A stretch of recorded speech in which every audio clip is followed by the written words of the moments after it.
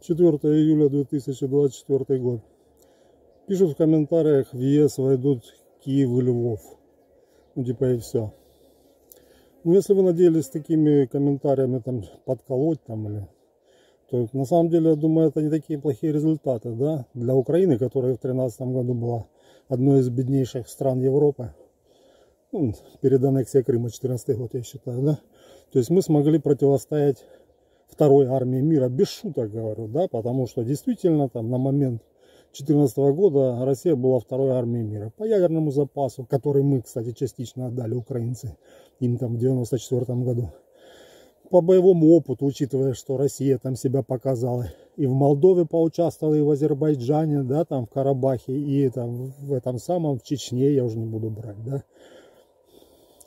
То есть не так уж плохо, не так уж плохо. Я думаю, что гораздо больше, то есть Харькове уже, мой Харьков вы ни за какие ковришки уже в Российскую Федерацию не затянете, я вас уверяю. После вот этих кабов, после вот этих вот эпицентров, после вот этих вот, это сейчас С-300, да, там хотя бы уже блокирую. Ну, в общем.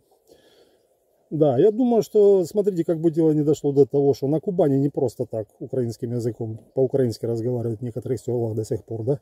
И бабушка моя не просто так в Ставрополе, там село Шпаковское, не просто так, да, такое русское название было у села Шпаковское. Так вот, ребятки, мы воюем, понимаете, за то, чтобы у украинцев была земля, на которой они могут жить как украинцы, чтобы никакая медведевская мразота вот эта, лилипутинская, и кликопутинская, понимаете, не могла сказать, как говорил Медведев, да, который бывший президент России, который сейчас там говорит, что присоединяйтесь к России, иначе вы исчезнете, а лучше подчиняйтесь тем, кого вы не любите. Иначе вы там исчезнете, как украинцы, да? То есть, чтобы никто не мог там за то, что ты говоришь по-украински, бросить тебя на подвал, да, как сейчас хвастаются некоторые, говорили там где-то в оккупированных территориях по-украински люди, их просто сажают на подвал. Мы за это воюем, и наверняка мы освободим и до 91 -го года свою территорию, потому что Россия не такая сильная, как она пытается казаться.